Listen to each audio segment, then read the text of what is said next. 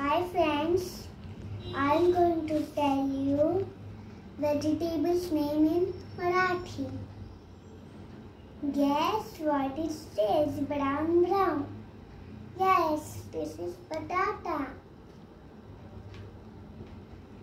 And see, guess what it says red red?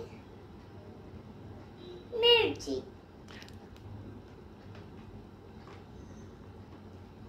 And this? Yes, green color. Yes, mutton. Yes, what is this? It's a green green lady bhindi. Bhin- Guess what is this? Yes, it's a bhindi. What is this? E- Orange orange sweet sweet. We make halwa from it. Yes, gajar. Thank you.